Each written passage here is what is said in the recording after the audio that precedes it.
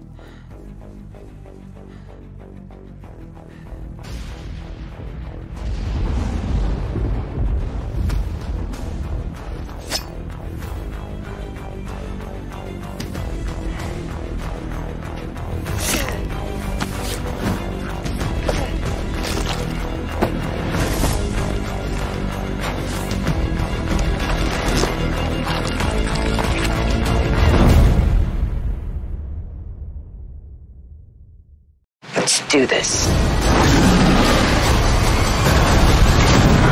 Let's go. The people who made this movie love Monster Hunter. It was a crazy shoot, amazing locations. This is an adventure.